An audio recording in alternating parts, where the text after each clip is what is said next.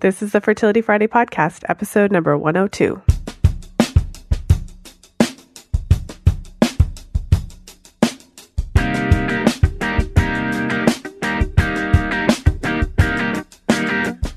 Welcome to the 102nd episode of the Fertility Friday podcast. Thank you for joining me today. I'm Lisa from fertilityfriday.com, and this is your source for information about the fertility awareness method and all things fertility.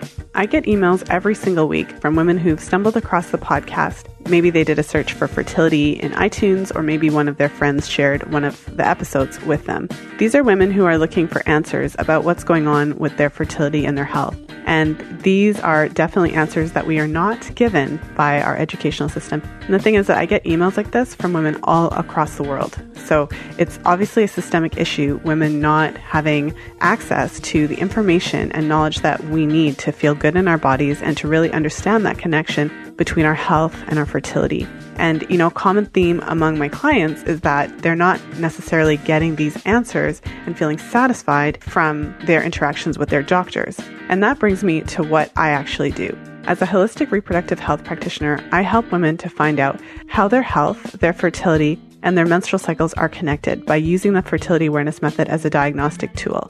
I help women to feel 100% confident about using the fertility awareness method as a reliable, non hormonal method of birth control. And I also teach women to know when and if they're ovulating and how to time sex accurately when they're trying to conceive. But, you know, of course, it doesn't end there because fertility awareness is so much more than just birth control or trying to get pregnant. It really gives you a window into your health and your fertility and how these things intersect. And I love to help my clients use that knowledge to improve the health of their menstrual cycles naturally. And instead of me just blabbing on and on, here's what one of my clients had to say about our work together. I think you are very, you're a natural at creating a very comfortable environment. Like, I do not feel it's like the opposite of talking well in a good way it's like the opposite of talking to like a doctor because it's not this like stiff like really you know robotic kind of answer that you're getting from a textbook. Um, it's obviously there are answers that you're getting that are founded on a lot of great knowledge and research and all that good stuff. You know it's still really solid information but it's delivered in such a nice refreshing way for more information about my programs and to find out how to work with me, head over to fertilityfriday.com slash work with me, all one word. You can get started today by setting up a free 15 minute consultation with me for more information. So head over to fertilityfriday.com slash work with me. Before we delve into today's interview, I'd like to take a moment to thank my sponsor. Today's episode is sponsored by Circle and Bloom.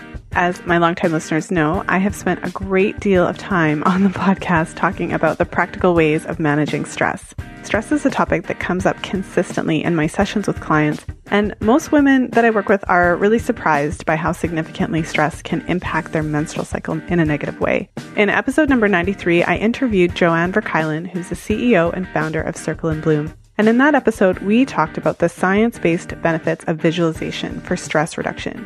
Now, Circle and Bloom has developed programs specifically for women who are trying to conceive. Although there's so much that women can do to improve their fertility naturally, many women still do need the support of assisted reproductive technologies like IVF and IUI in order to conceive. And in the same way that the Natural Cycle Fertility Program that I've talked about on previous episodes takes women through a 28 day menstrual cycle, the IVF and IUI Mind Body Program takes you through 18 unique sessions that correspond with the medical IVF cycle. And as a special gift to Fertility Friday podcast listeners, Circle and Bloom has offered a 20% discount when you purchase one of their programs. So go to circlebloom.com slash fertility Friday and make sure to use the discount code fertility Friday, one word, at checkout. So again, that's circlebloom.com slash fertility Friday and make sure to use the discount code fertility Friday at checkout. So, before I get into today's episode, I wanted to actually record a little preamble, which I don't typically do. I don't think I've ever done this before. But in today's episode, we actually talk about some really, really serious and difficult topics. And so, you'll notice the title of the episode, the first word is abortion. And so, today's episode is about abortion, menstrual extraction, miscarriage, pregnancy loss, and stillbirth. And Molly and I have a really real, open, honest, raw conversation about these topics. And so I wanted to record a preamble just to let you know to kind of put a trigger warning at the front of this episode. This episode, if you have experienced a miscarriage, if you ever have had an abortion, if abortion is a topic that you're not particularly fond of talking about, this episode really delves into these topics. I'm really, really happy with the conversation that Molly and I had. I feel like this is the only episode where I was really moved to tears. Molly shares some of her own experiences, I share some of mine. And so it's a really powerful episode. And, you know, we really strive to create a safe place where we could actually talk about these difficult topics in a very open and honest way, where I don't find that this is something that is talked about really anywhere. And I'm not really sure where women can go to have candid conversations like this. Often we can't even have conversations this open and honest with our friends and our family. And so I just wanted to preface the episode uh, with this so that you know that this is what we're talking about, and so that you're not surprised to find that we really delve into these topics in a really open, honest, straightforward, and raw, um, real kind of way. So, with that in mind, we'll get to the episode. And today I'm very excited to welcome my guest, Molly Dutton Kenny, to the show. Molly is an American home birth midwife, a reproductive health advocate and educator who specializes in supporting pregnancy loss and abortion. She works with a full spectrum of reproductive experiences and supports individuals and families in finding the best options for themselves, including traditional, home, and plant based alternatives. She teaches workshops on a variety of subjects within alternative reproductive healthcare and she's taught hundreds of people the art and science of alternative fertility management, honoring its roots and exploring its potential to change the way that we relate to our bodies, our fertility, and our bleeding. And she also loves catching babies and supporting birthing and postpartum families. I love that midwives always say that they're catching babies. I love that. Mm-hmm. and in today's show, we'll be talking about miscarriage and pregnancy loss and the role of midwifery care in helping women to manage this devastating life event. So, without further ado, welcome to the show, Molly. Thanks so much. Thanks for having me. Well, thanks so much for being here. I was just saying in our pre chat that, you know, a lot of the work that you do are things that we don't really talk a lot about in our culture. And so I'd love to hear how you, you know, found yourself in the work that you do and what inspired you to become a midwife. Sure. You know, it's funny. I was just having this conversation recently with my mother about how I usually have this kind of pat answer that I give people when they ask me why I became a midwife, but the answer I give is not the real answer. so I'll tell you and your listeners the real answer of why I became a midwife. So the answer I usually give is something along the lines of that my mother had her children at home when I was young. I was born in a hospital, as was my sister. But then about 10 years later, my mom had my two brothers and she had them at home with a midwife. And that was a very formative experience for me. I was eight and 10 years old when they were born. I was there for the birth. It was a big deal in our family. So I grew up with the knowledge that home birth and childbearing and caring for yourself at home was totally normal. I grew up with the expectation that that was, of course, how I was going to care for my body and that I would have lots of support and resources to do that, which is unusual. And I'm grateful to have been raised that way.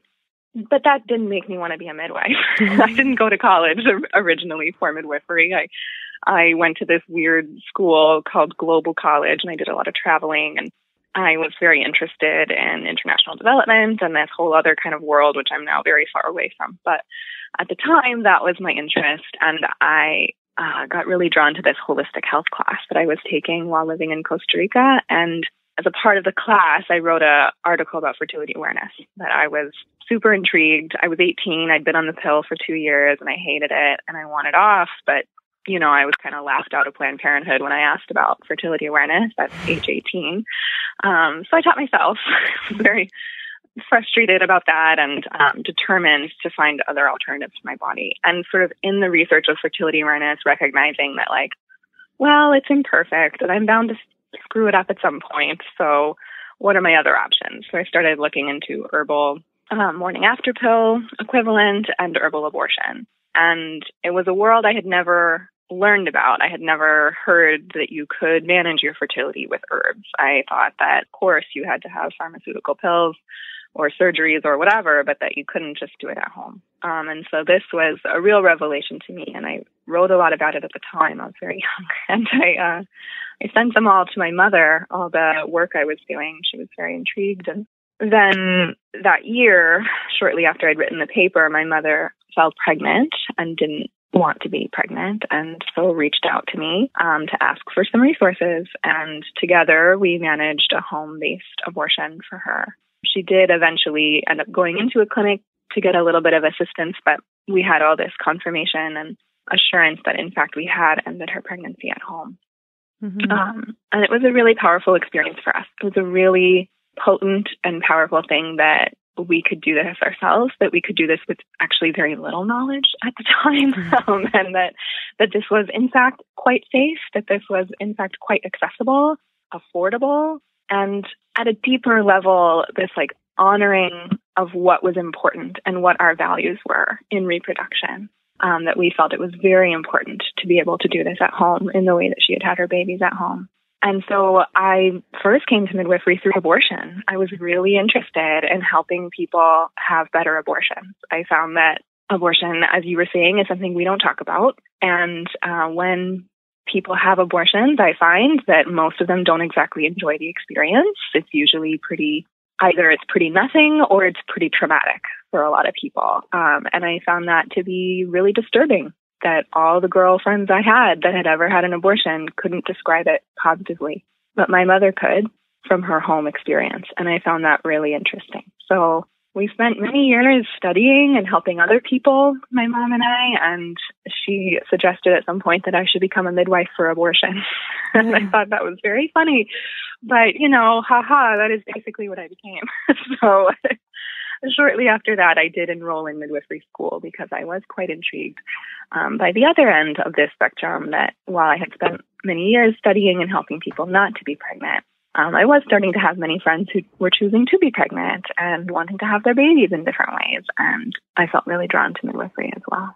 Mm-hmm. Um, so I did go to midwifery school for a couple of years. I studied in a couple cities and a couple countries um, about traditional midwifery and am now a CPM, a certified professional midwife in the United States, which means that I'm certified to attend out of hospital births only, um, which is where my true passion lies in home birth and home management.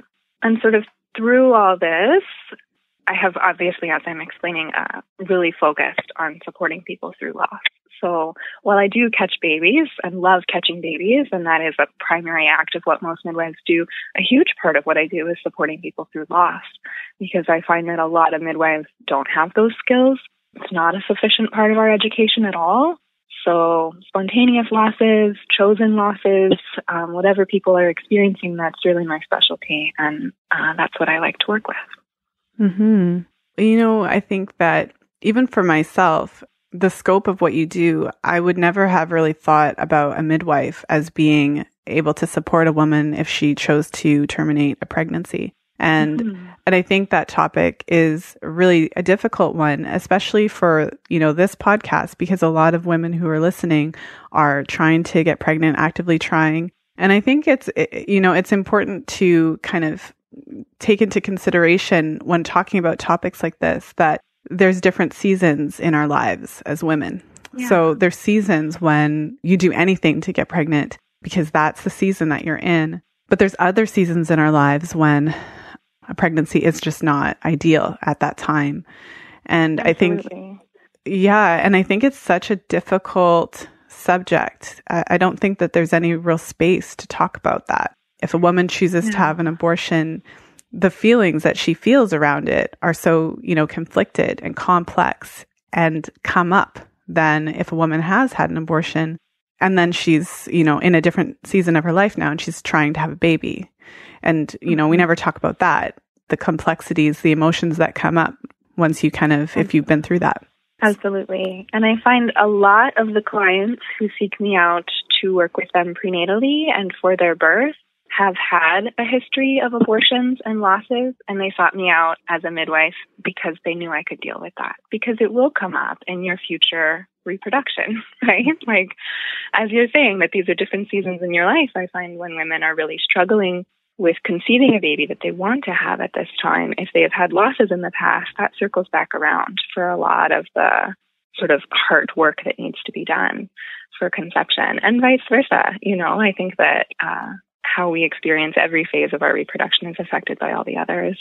And to me, that has made it really important to be really vocal about my experience and expertise in dealing with loss because so many people who are pregnant and birthing babies or trying to be pregnant and birthing babies have experienced loss in the past. And if they know that they can talk to their midwife about that, that means a lot to them. Mm-hmm. Well, and you mentioned as well, part of what drew you into midwifery in the first place was learning that there were herbs that you could do that would end a pregnancy or bring on menstruation. And so, although a lot of women don't talk about these things um, openly, uh, you know, I think that there's some degree of knowing that there are certain things. I mean, you just have to do a Google search and then you get all this conflicting information about, you know, what herbs to take to terminate a pregnancy or bring on your period. And so, did you want to touch a little bit on that? I know it's not the topic of the day, but I, you know, whenever this topic comes up, I always have a couple different feelings about it. You know, one of them is it sounds so natural to be able to find an herb that can um, kind of naturally bring on your period if you're not trying to get pregnant and you're concerned. Um, but then the other part of it is that if you are experimenting with herbs for that reason and you don't know what you're doing, then there's a lot of risks involved. Uh, so maybe you could just touch on that a little bit. I know you could do a whole weekend workshop on that, so it's hard to to touch on it. But I could, and I have. yes, um, sure. I'm happy to touch on it. Same. Anytime I mention it, people are always like, "Hold up, stop right there. Explain this more." so, so absolutely, uh, there are many ways that people can bring on their period when they want to make sure that it comes maybe they were risking pregnancy and they don't want to be pregnant at that time, or for a variety of other reasons, people may want to bleed. And there are many ways to instigate that, and herbs are one of them. Herbs have always been one of them. Uh, herbs have promoted menstruation since humans have existed. That's how we have often related with our health. Herbs have been used to enhance fertility, reduce fertility, etc., for a long, long time. There are plenty of herbs that are still used that way today they sort of fall into a, a certain amount of categories. There's herbs that are called emmenagogue herbs, and those herbs bring on menstruation, which isn't necessarily to say that they induce abortion. Most emmenagogue herbs are not necessarily strong enough to induce abortion if a pregnancy is already established in the body, but they may be strong enough to disrupt a brand new implantation or eh, most people don't know if there's implantation or not. They just want to be very sure that their period comes. so they take these herbs, these emmenagogue herbs, and they may work that way. There is another class of herbs called abortifacient herbs, which are effective at essentially altering your hormonal state so that a pregnancy is not viable. So perhaps you are early in a pregnancy and deciding that you'd prefer not to be pregnant at this time. There are certain herbs that can mess with your levels of estrogen and progesterone to make continued development of an embryo not possible. Um, and when that happens, your body will eventually naturally miscarry because it can no longer sustain the embryo. They sometimes take a while to work, and they can be dangerous. I caution against saying that they are universally dangerous because that is not my experience. My experience is that when people have good information and solid support, they can be very safe. But as you're saying, lots of people these days find information on the internet, um, which has varying levels of accuracy and mm-hmm. varying levels of safety. And so there have been some unfortunate cases of people using herbs in this way and harming their body.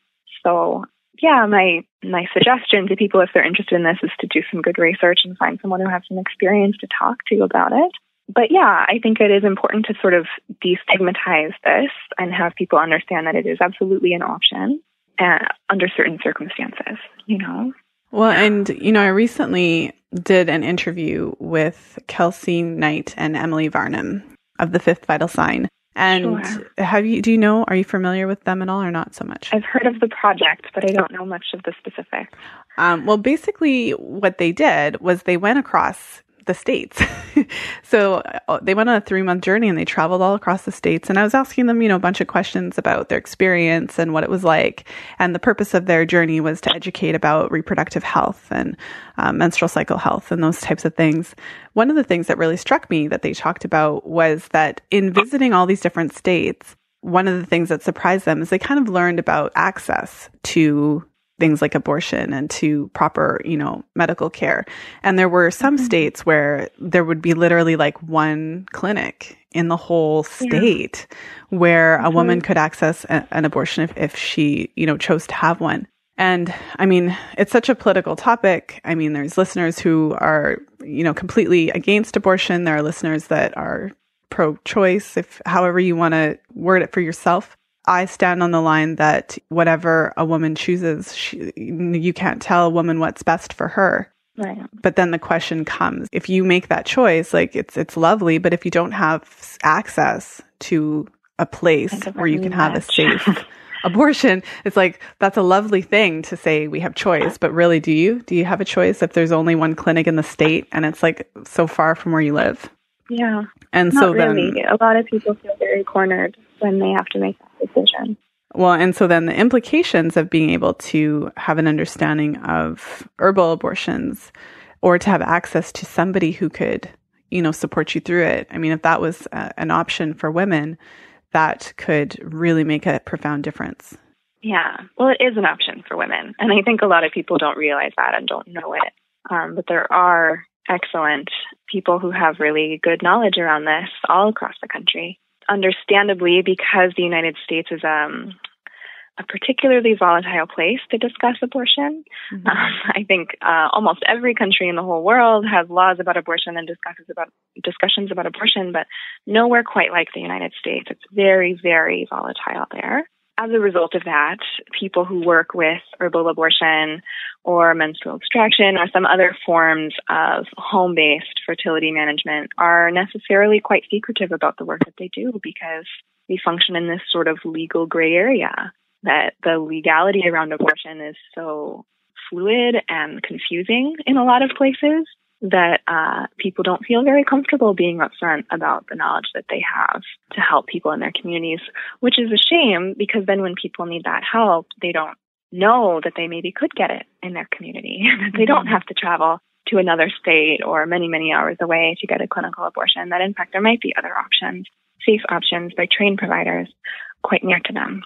So um, then, for a woman who's listening who might know somebody who is in a situation, or if they are themselves kind of looking for options and feeling like there are none, what suggestions would you have for them? I mean, where, I mean, they could go to your website, but what suggestions do you have for, for finding support, someone who could actually support them through that? Well, it can sometimes be a bit tricky, certainly. And sometimes you feel like you don't know what words to use to ask someone. I find that in most communities, a good place to start is with the doulas and midwives in your community. Many doulas and midwives do not believe in abortion. Many doulas and midwives have had abortions themselves. Uh, we have a whole spectrum and range of that. Um, however, doulas and midwives know a lot of people about who um, who's working with reproduction in the area. You might be surprised that many doulas and midwives might have this knowledge themselves and be willing to work with you, or they might know who will. Particularly, there's a movement for what's called a full spectrum doula in the United States, which is a, sort of a catch all term to mean that it's a doula who very specifically works with loss and abortion as well. Um, so if you're lucky enough to live in a state that has a full spectrum doula organization, they might be a good place to start asking. Uh, and you could always contact other organizations out of state as well. They may they may know people, even uh, sort of a regional network of what's going on. Yeah. That's a good place to start. You can talk to herbalists. I've talked to a lot of herbalists. I have found that this is absolutely not a part of education for herbalists in the United States. It seems to be a very frowned upon part of herbalism um, that very few herbalists are willing to talk about. Very few herbalists have any education or training in, which is really unfortunate because that's who I would like to say you should talk to. but mm-hmm. unfortunately, I find that the herbalists I know know far less than the midwives I know. And I find that really um, kind of distressing, but it's it's the current reality. So you can try talking to an herbalist, but you may have more luck talking to a reproductive health specialist like a doula or a midwife. Mm-hmm. If you think about it logically, it's kind of um, it's just so sad that even in this day and age, it's still so undercover. It's still so behind the curtain. And uh, that just all that that does is isolates women who really need help. And then when yeah. you see the fallout of a woman who did did need help and support and wasn't able to find it, you see the fallout in a lot of different ways. They kind of blame the woman, vilify her, depending on right. the situation, and and that's just tragic. And I live in Canada, and so in Canada, uh, I mean the the laws are such that you can access an abortion and you can access medication, but it depends on where you live how close mm-hmm. you are to a, a, place that can actually do it. So I think to some extent, you know, you being in Canada, I kind of I kind of take it for granted. And I think a lot of women just, they kind of know that it's there, it's an option, it's available. Like you can go to your doctor. You might have a, you know, a problem if your particular doctor won't prescribe something, but you can still get it right? Yeah. Even if your doctor isn't going to prescribe it, you could still go to a different doctor. So um, I think sometimes it's easy to forget that there's women who just absolutely don't have that same level of access. And so uh, it's important to bring these topics to light, just to acknowledge that it's it's and it's also not something we can take for granted because every now and then it comes back in the media. Every now and then a new party comes into power and puts it on the table again and kind of reminding us yeah. that they could take the right away. So and one of the biggest, so I also currently live in Canada, and one of the biggest, uh, but I am American and I was raised in the States and I've lived there until very recently. And uh, one of the biggest differences in abortion access between Canada and America is uh, finances. we have we have relatively similar issues with geographic disparities and things like that, but in Canada, for the most part, abortion is covered. It's free to Canadian citizens, um, as well as Canadian permanent residents and refugees. Um, not everybody is served by that, but the vast majority of people living in Canada could access abortion care for free. That's not the case at all in the United States. It's very rare that someone can access an abortion for free in the United States. Um, and as a result, a big reason why some people seek alternative abortion care is because they can't afford a clinic.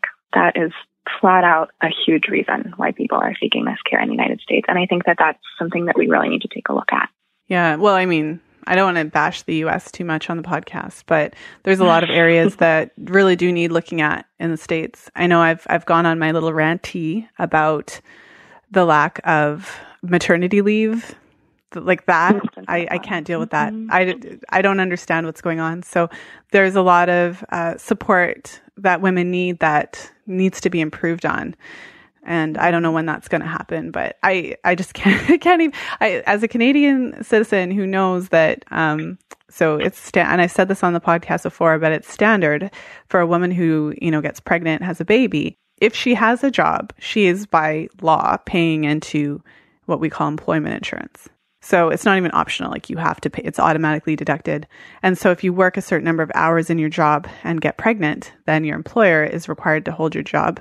And I mean, there are, it's not like there aren't any issues. It's not like there's never been an employer that kind of tries to get rid of somebody. So that's, that kind of stuff is still there. But uh, legally, you know, your employer is required to hold your job. And also, you would be eligible to get your EI payments for a year. Mm-hmm. A year, one year, 12 so civilized. Months. Yeah. so yeah, so the states has a long way to go. But um, let's kind of let's switch gears a little bit. One of the topics that I wanted to ask you about, and it's because it's a topic that I don't have a ton of background in myself, but I wanted to talk to you about menstrual extraction um, because I mm-hmm. think it's really interesting. And I would love to kind of find out. Well, first of all, for the audience members, if you've never heard of it, you know, what is it and you know, when would it be used or when would it be indicated for? Yeah. Menstrual extraction is a really interesting topic. As a concept, the idea of extracting menses has existed for a very long time. But how I talk about it is in, is about a specific device and a specific time in history. So in the late 60s or early 60s, late 60s, 70s, 80s, and sort of this swath of time here around the very beginning legalization of abortion, um, there was in the United States, uh, there was a group of women working out of Los Angeles who were working sort of in some medical clinics and some other circumstances, and they were very interested in reclaiming certain aspects of gynecology to not need to have to be done in a clinical setting. So this group got particularly interested in cervical self exam. So they would get together with their plastic speculums and learn how to look at their own cervixes and each other's cervixes.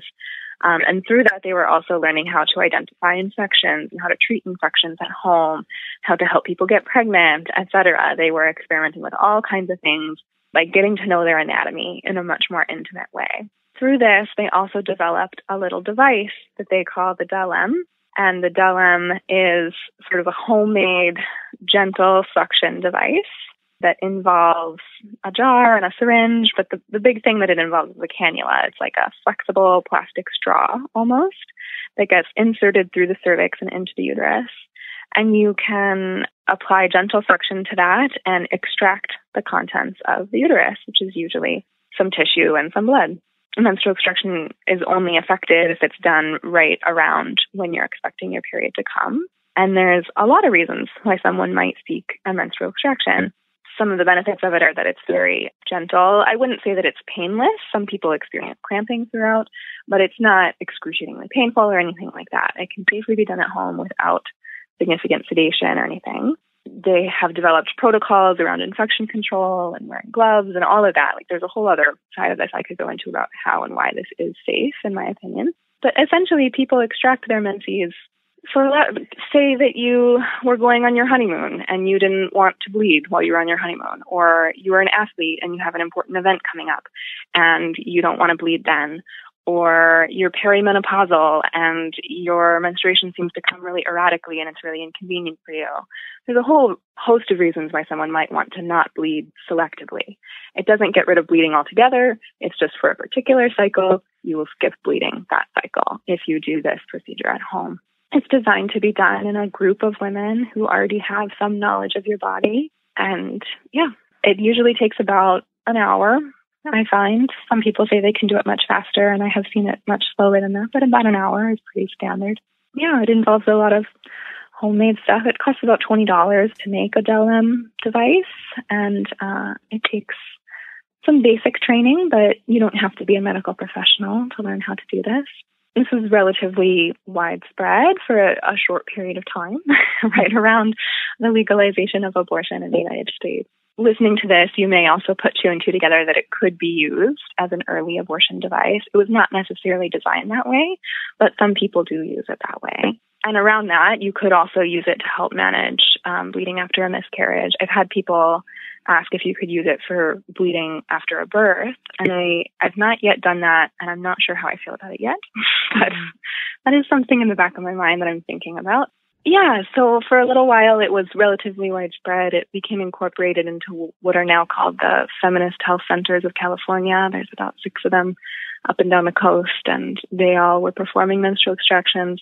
This group of women in Los Angeles were touring different feminist groups and teaching them how to do it. So there is this sort of cohort of women who are now in their like 60s, 70s, 80s who uh, were very involved in menstrual extraction when they were young.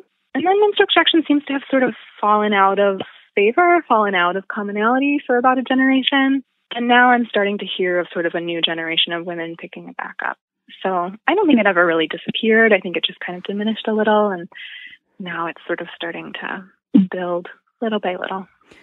So is it possible for someone to do this on themselves? In theory, one could do it on themselves, but only if they were very skilled in it. I think it's not it's not really designed that way. It's designed to be done with help. You have to set a speculum, you have to insert the cannula into your cervix. That whole process could be done by yourself, but is a bit challenging. It's much more helpful when you have someone else's eyes on it. And then the way the device is designed is so that the person who is receiving the menstrual extraction, the person whose menses is being extracted, is the person who pulls back on the syringe and initiates suction in the device. And that is an intentional design that is different than aspirations in a clinic, for example. And they designed it that way so that they could reduce liability, so mm-hmm. that you could say that you perform the extraction on yourself, that you are the one who initiates suction. You might have someone help you set a speculum, you might have someone help you insert the cannula, but you are the one who is really um, in control of the strength and speed and timing of the whole thing. So um, for some people, that's a really important distinction, not only for liability, but also for their sort of spiritual connection to this, you know, that, that this was something that they were doing for themselves. Mm-hmm. Yeah, because when you're describing it, I'm like trying to picture it in my mind. I'm like, I don't, I, I like, I, this is outside of my realm of scope. Like, this is outside of my my sure. medical capabilities. But I guess what strikes me as really interesting about it when you say that it, it used to be kind of more common, and I think it's safe to say that most women haven't heard of it. Yeah, it's probably safe to say that. And I think that before I would I would just wager a guess that before the birth control pill was a thing, then if you had your menstrual cycle coming and you knew that you were bleeding and it was your honeymoon, I mean that's that's it. There's nothing that you can do. You're just going to bleed. But yeah. then with the advent of the pill and you can just uh, stop instead of taking your sugar pills, you could just keep taking it and then your yeah. period just won't come. I would wonder if that is part of the reason that this is just not as widespread as it could have been. I think so. I also think that as an early abortion method, it came out right around the same time not right, like shortly after the um, mifepristone, the abortion pill in the United States became available. And so that is so much easier and more convenient that I think a lot of people would rather take a pill. So, yes, I think since its invention, we've had lots of sort of innovations in medication that people can use in a variety of different ways. But not everybody is on the pill, and not everybody would have a medication abortion. So I think there is still a market of people who particularly would be interested in or needing this service. Because you said that it would only typically work then around the time that you would have been menstruating, anyways. Right. Most women who don't chart their menstrual cycles have a general idea of what's happening in their cycle, but to be able to say exactly, you know, this is when my period comes, uh, unless a woman is charting her cycles and she has confirmed her ovulation and she knows how long her post ovulatory phase typically is, it wouldn't really be that accurate of a measure. So when is it too yeah. late to do? You know what I'm saying? Like, um, what if she's actually pregnant absolutely. and it goes? So if if you're actually pregnant, you can continue to do it for a couple weeks into the pregnancy. It's really only an early method. Um, I I tell people I caution them that it's effective to about six weeks of pregnancy.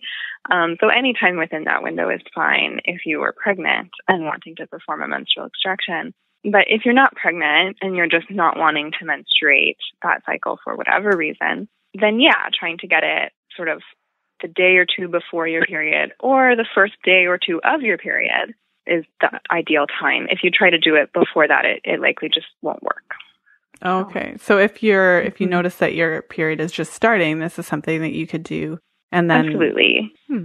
Yeah. And then it sort of bypasses menstruation for that time. You extract everything and then you might spot for a day or two, but you won't have the heavy bleeding that you're used to having um, I've been sort of experimenting with some different conditions with this lately and sort of uh, trying to figure out where this might be of most use.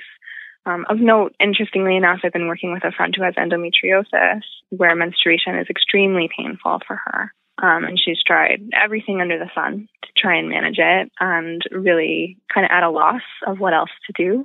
And so we started doing menstrual extraction and we found that it's extremely effective for her. That the actual extraction is very painful for her because that's how she experiences release and bleeding is with a lot of pain. So the actual extraction is more painful for her than it is for the average person, but it lasts an hour. And so she says, you know, I'd rather have the hour of pain than a week of pain. And we found that when we did it repeatedly over many months of time, she was able to not need it some months, that her menstruation would come and it wouldn't be painful. So I'm not exactly sure what's happening there. I think that there is absolutely a hormonal reaction that happens, but the people who developed this were activists, they weren't scientists.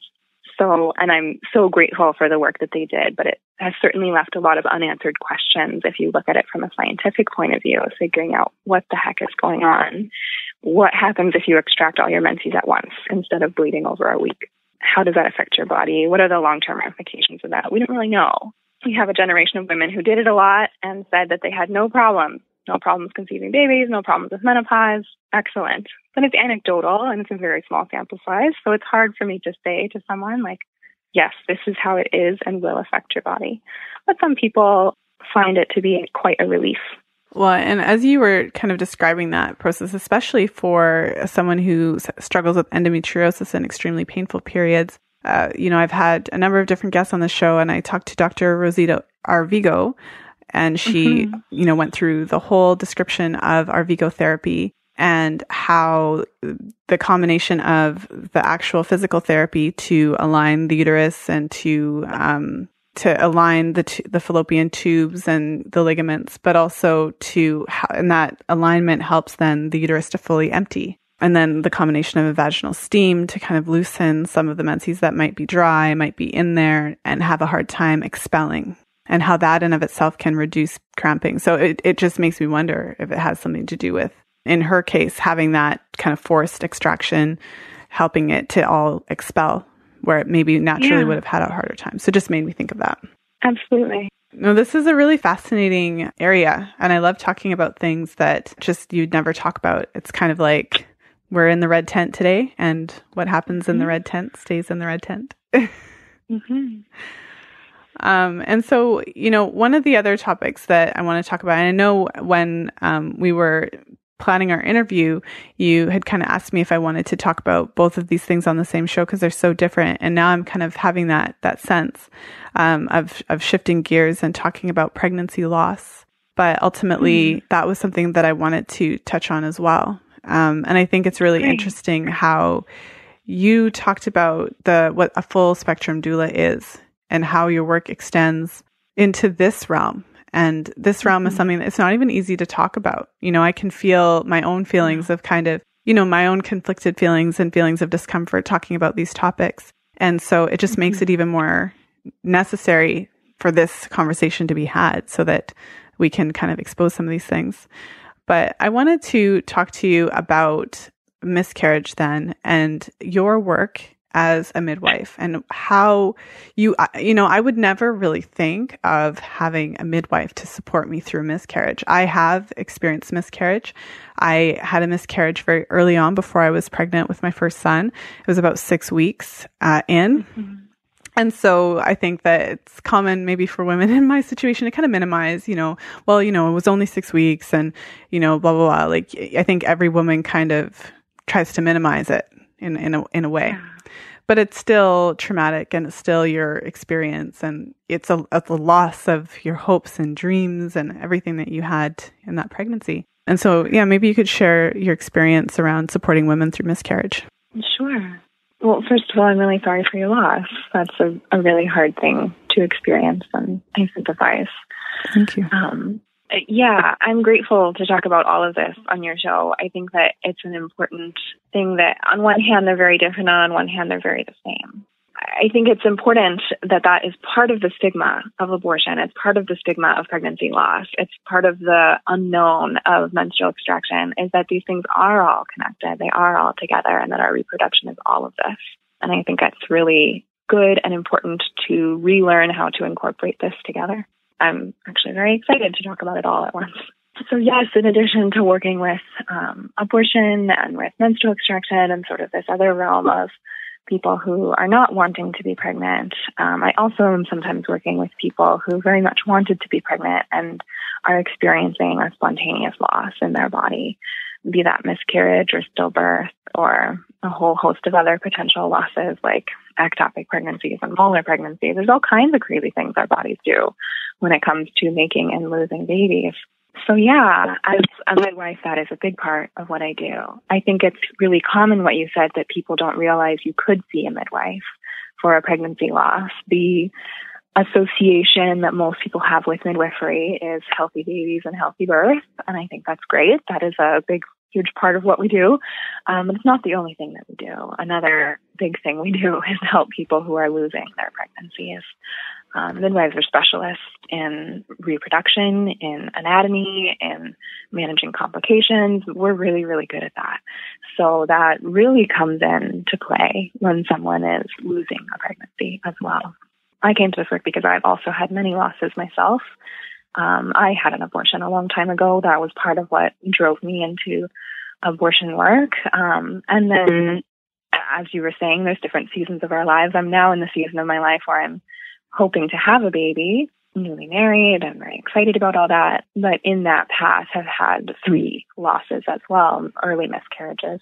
Earlier than they're in the first trimester, but in varying weeks and levels. And they've all been very different experiences. And um, going through that in my body has really galvanized this part of me that really believes that this should be a huge part of what midwives are doing because so many people go through miscarriages totally alone. And as you said tend to diminish them in their memory in their in their way that they discuss it outward with anyone.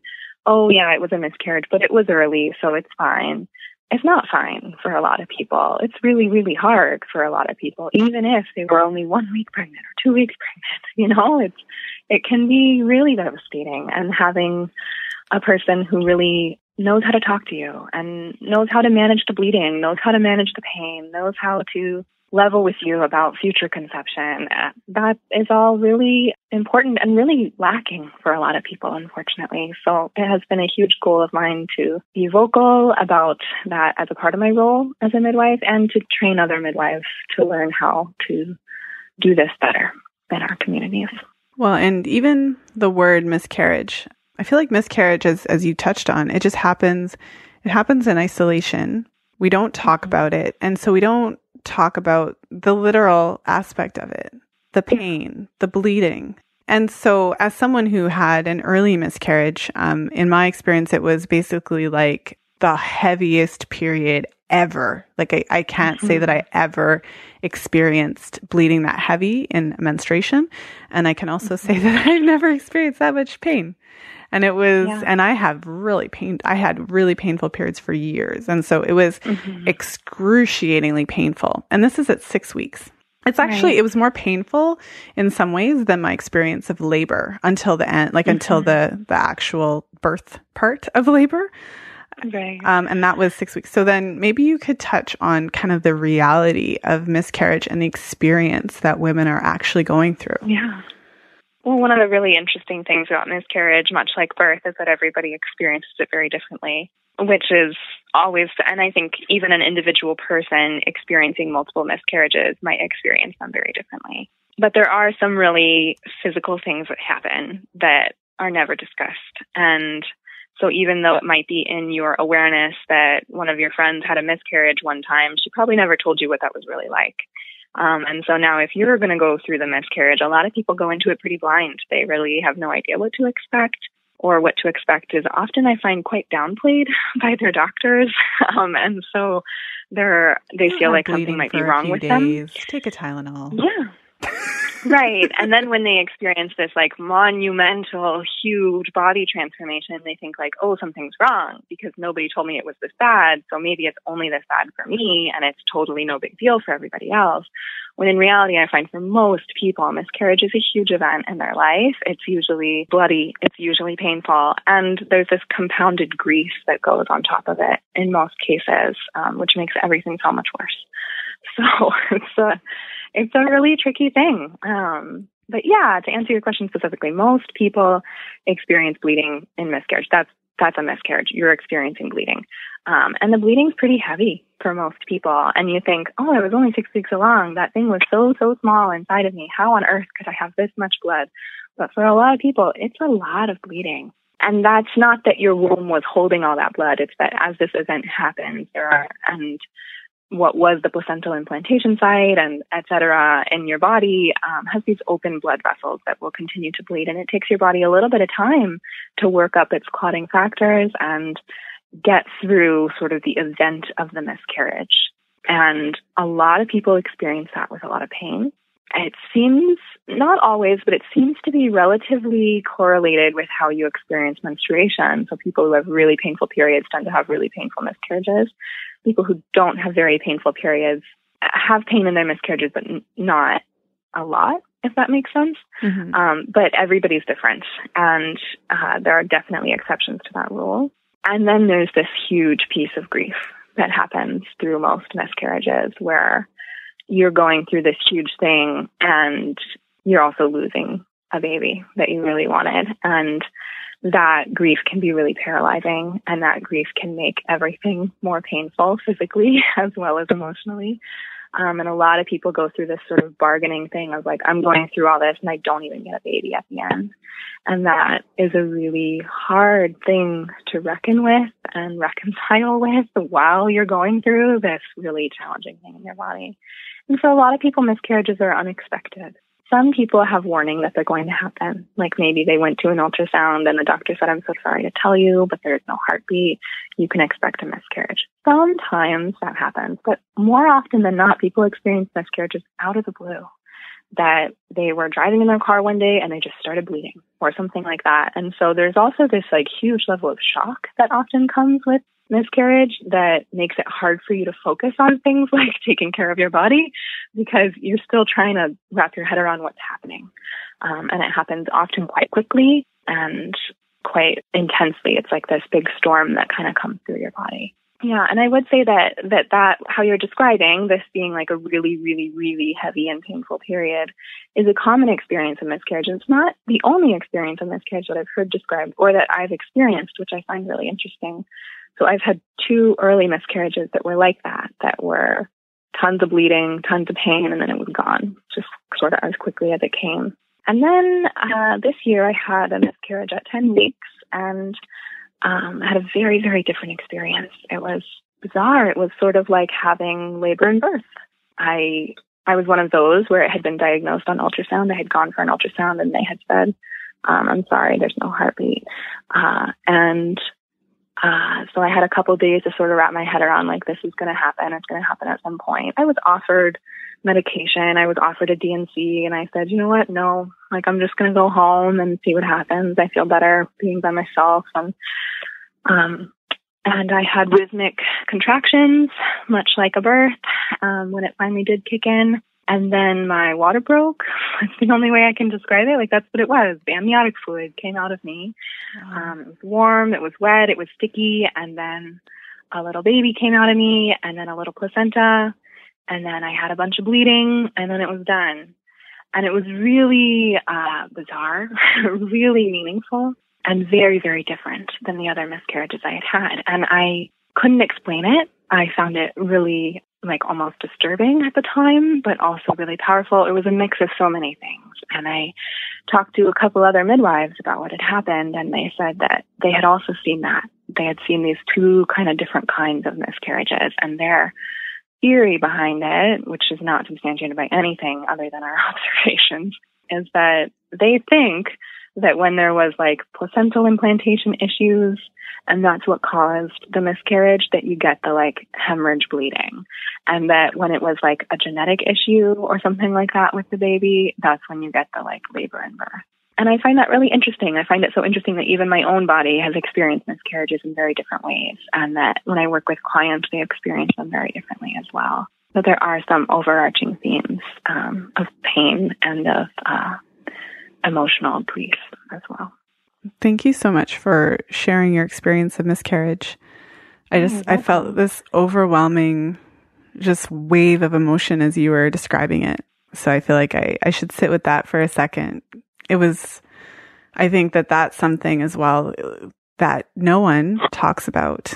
Um, no. and I think it's a question that a woman might have if she experiences a miscarriage later on you know, in the process? Yeah. Am I going to have to see the baby? Mm-hmm. Because, yeah. um, I mean, that's just such a complex, I can't imagine what that would be like. Uh, I just, I mm-hmm. can't imagine what I would feel like. I'm very, I'm so sorry to hear not only that you've had miscarriage, but you've experienced it three times. That's, Yeah. That's impossibly difficult. Thanks for saying that. It is really hard and also really common, which I think is another thing um, that gets so frustrating about it not being talked about. I mean, we know that 20% of known pregnancies will end in miscarriage.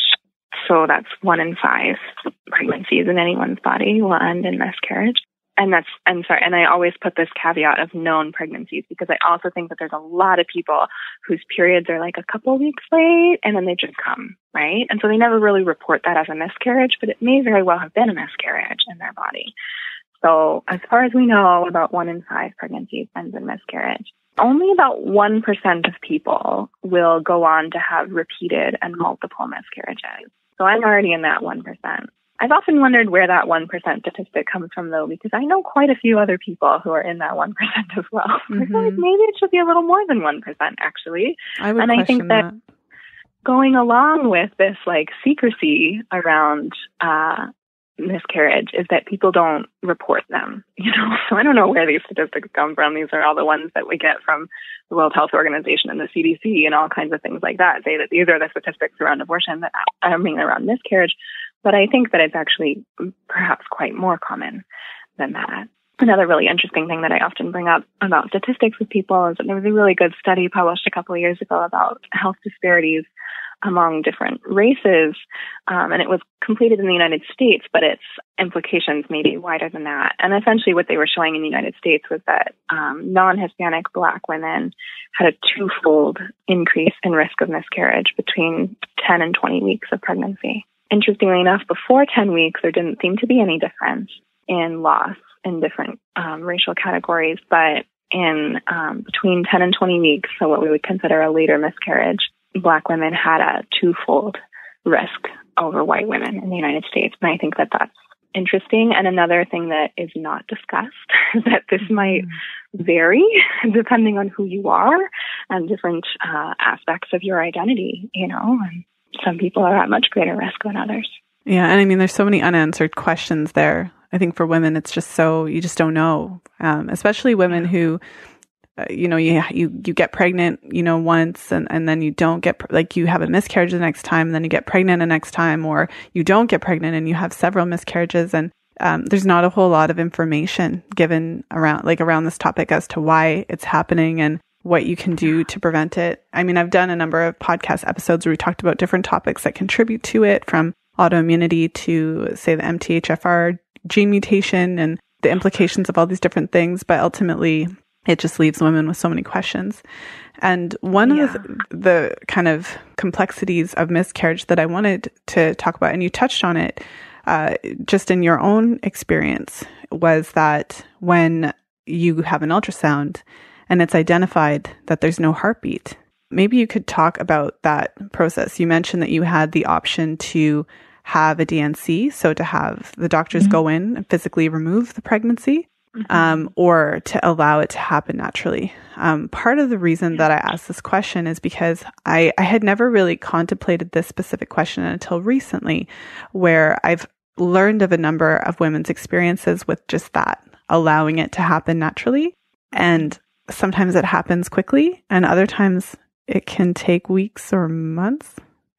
Absolutely. And just the the implications of quite literally carrying around a baby that's no longer mm-hmm. alive in your body and waiting for it to miscarry on its own. Yeah. It's a really fascinating topic. So, uh, within miscarriage, so clinically, a miscarriage is called a spontaneous abortion. A lot of people don't call it that because they don't like to associate it with elective termination, which we would colloquially call abortion. So people distinguish them as miscarriage and abortion. But the reason why I'm saying this is because clinically what you're describing, where someone is told your pregnancy is no longer viable, but it may continue to be in their body for quite some time before it comes out, that's what we call a missed abortion. And some people call it a missed miscarriage, but clinically we call it a missed abortion. And what that means is that, you know, the baby stopped growing, but our body didn't quite realize that. so you sort of hold on to the pregnancy for quite some time. Oftentimes, like for me, when I went in and had an ultrasound, they said, like, your baby passed more than a week ago. And, you know, we have no way to predict when uh, it will come out. And so I was offered clinically, usually what you're offered is a D&C, as you were saying. It's like a, a removal using instruments of the baby from your uterus. Uh, you could also take medication. Uh, it's actually really frustrating to me that more people aren't offered medication because I think taking medication to induce contractions is much less invasive in the body. And I think a lot of people would choose that if they knew it was an option. So it's very frustrating to me that a lot of clinics don't offer it at all, but it should be offered. And then other than that, you can just wait. And this is a, a really tricky thing that there's not a lot of research out there that says what's the cutoff? How long can you safely wait? What's healthy for your body, etc. Um, and so most doctors and clinicians will just tell you that once a miscarriage is diagnosed, it should be finished.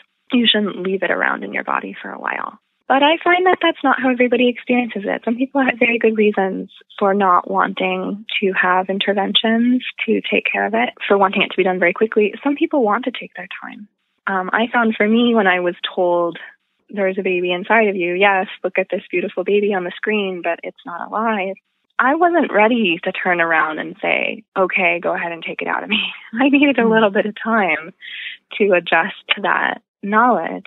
And so I said, you know, I'm going to go home. I'm going to manage it myself.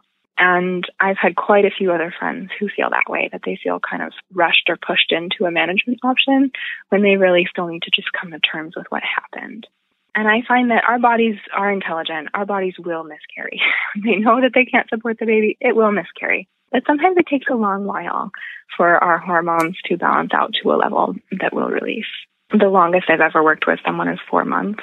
That was a really long one. I was personally, uh, as a clinician, uncomfortable with that. Um, I found that that seemed like a really long time, but she had really good reasons. Hers was a late like it was sort of on that cusp of where you would call it a miscarriage or where you would call it a stillbirth.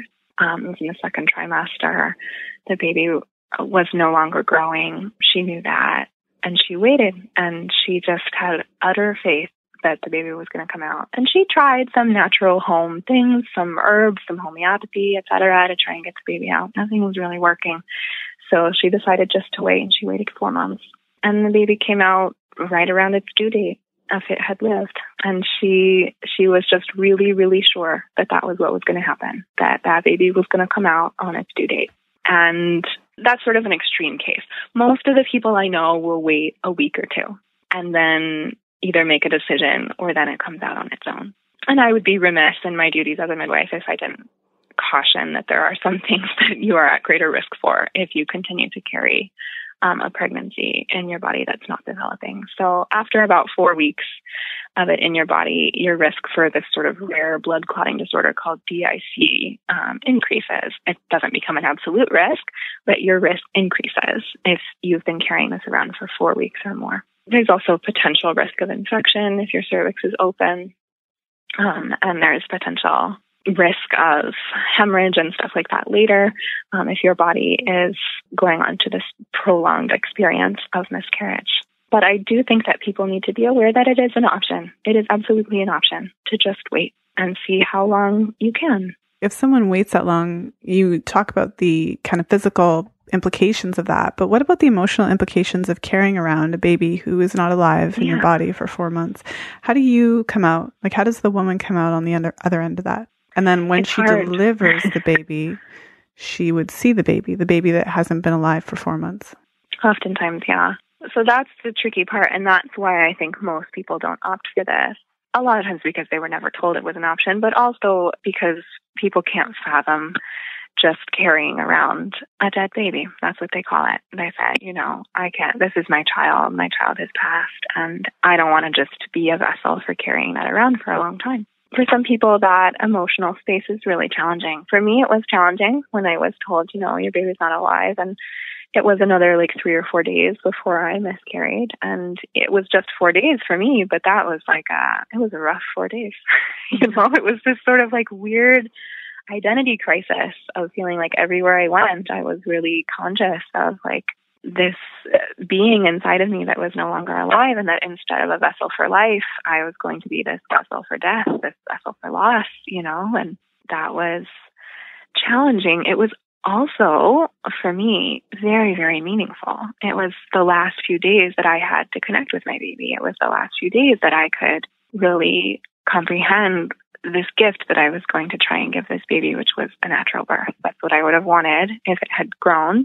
And that's what I wanted to give it now. You know, I said, I didn't want your last experience in my body to be with instruments or with medication coursing through us. Like I, I want to give you this ability to pass when you're ready to pass. And so for me, it was this conversation between me and the baby and me saying, you know, as your mother, this is what I can give you.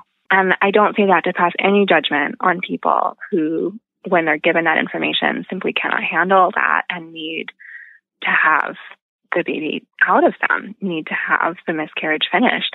I've had friends who have made that decision and I have wholeheartedly supported them through that as well. Um, and I can see the value in that, that our mental state is really important. And if you can't walk around for a long time holding a baby that way, that is fine and that is normal. and you should, you have lots of options to get it out of you. But there are some people out there who don't want to feel rushed in the process. Um, and so I, I want them to know that it is possible to wait with proper precautions, with proper monitoring, etc. It is totally possible to wait and see when it will come out on its own. Mm-hmm. Well, and, you know, as we get towards the end of our interview today, you know, one of the last topics that I wanted to talk about is what I feel like is the hardest. I, and that's, that's, that's just me being human. It's not the hardest. I, I always, I feel like I'm intervening in, on myself um, because we touched on this as well. You know, every woman's experience is unique. And I, you know, you can't say one woman's experience is worse than another because she had this experience or that experience. But I think it, it's, it terrifies me, the thought of, you know, carrying a baby for eight months in pregnancy and then going into early labor and, and having stillbirth. So I feel that mm-hmm. um, stillbirth is it, it's hard just to fathom as someone who's never gone through that. I have mm-hmm. friends who work in different professions. One of my friends is, you know, labor a delivery nurse. And so she has seen things, you know, and sometimes we talk about that and it's just so hard to imagine some of the things that she's seen. And, but it's, it is a part of life. And so for women who have had that experience and have not had a place uh, where they can actually talk about it, I would just love for you to talk a little bit about stillbirth, your experience of it, and how you support women who are either going through it or have gone through it through it before. Yeah. Stillbirth is really hard. And I agree that I don't like to classify different people's grief as greater or less than anyone else's, but stillbirth is a particular, really challenging, really painful thing for a lot of people it's experienced uh, extremely intensely by the parents, but it is also experienced by anybody who is supporting and attending them. As a midwife, I have attended um, about six stillbirths for a variety of different reasons. They have all really stuck with me, where I have attended, you know, hundreds and hundreds of live births. A lot of them just sort of blur together in my brain. I remember every detail of all the stillbirths I've attended. It's a particularly horrible thing to experience um, of anyone involved. There's a huge amount of grief that goes along with that. It's unmistakably, unimaginably filled with grief. For however anyone here has experienced a miscarriage, as you're saying, now imagine that you had carried that baby for nine months and you are on the cusp of birth and um, are told that your baby's not going to live. Uh, that's a really, really hard thing as a midwife, part of what I do with people, um, what I'm always doing with people is counseling them on their options and making sure they know the full range of things that they can do. There are people who opt to have their stillborn babies at home, particularly if they had been planning a home birth. They might still plan a home birth.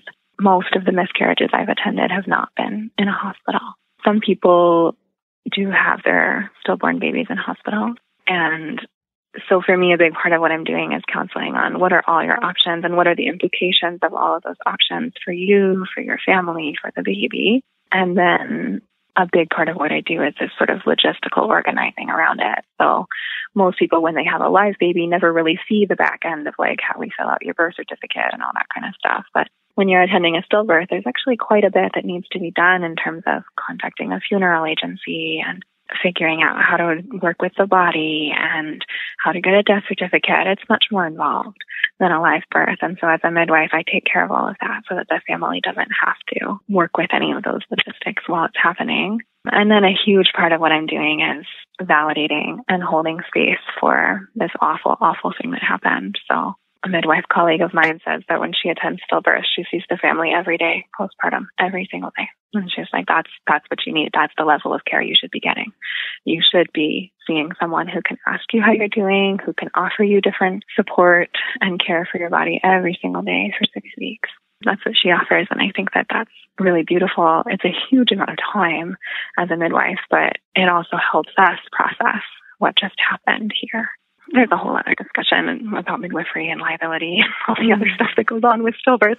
But in terms of supporting a family, a lot of what it is is just showing up because it's just like all the other things we talked about, stillbirth is another super silent thing in our culture that people talk about it in whispers. And when it happens, we either pretend like it didn't happen or we just don't know what to say, so we don't say anything.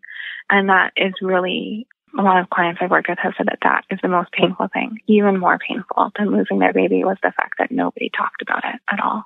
And that that felt like nobody even acknowledged that their baby ever existed. And that sort of erasure of this huge experience in their life was the worst. So as a midwife and what I counsel anybody who knows anybody who's going through this is like as hard as it is for you, best thing you can do is just show up, just ask if their baby had a name, call the baby by the name, talk about their baby. Like they're still thinking about their baby. They'll be thinking about their baby forever. So if they know you are too, that means a lot to people who are going through this kind of grief. Well, and it just reminds me of something that I heard, and I think I've mentioned it before on the podcast around miscarriage, but for all that we don't really talk about it and I think that it's surprising. It was surprising to me, and I think it's surprising to a lot of women to find out that how many of your friends have had a miscarriage? And you typically only find out when you have one. And all of a sudden it comes out of the woodwork and people start sharing their own experience of miscarriage that you just did not know they even had. Mm-hmm. but so for all the kind of minimization that we often do and just kind of not talk about it and you know act like it never happened if you were to ask any woman who's experienced a miscarriage she could tell you you know how old the baby would have been. I know so it, it doesn't go away. No.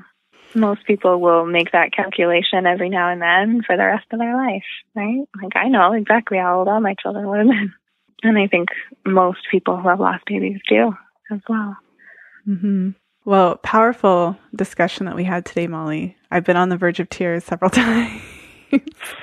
in our conversation today, and that's not typical of my interviews. So I know that it means that our conversation was really important, and I really hope that it mm-hmm. helps a lot of the women who've listened. And so, given our discussion today, you know, what would you want for the listeners to take away from what we've talked about today?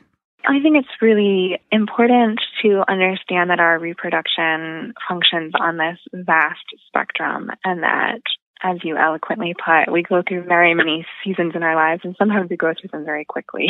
sometimes we want to have babies, sometimes we don't uh, want to have babies. Sometimes babies are born, and sometimes they're not born, and that is all a cycle and all a big part of what we're doing. I'd also like people to take away that they can and should be supported through all of those experiences, that these experiences don't have to be secret they don't have to be unspoken. You can have a midwife support you through all of this. You can have a doula. You can have a good girlfriend support you through all of this. And you should, and you deserve that. And I would also advocate that these things should be talked about together. And that I'm grateful that, that we did that, that I think uh, it's important to understand that this spectrum exists within each of us, that many of us will have all of these experiences in a lifetime and that compartmentalizing them and separating them out does more harm than good for us. And uh, it's important that we embrace all the possibilities as unfortunately normal, as worthy of care, worthy of support, and worthy of discussion. Do you feel that there are any myths about miscarriage that you would want to rectify if you could? Yeah, many.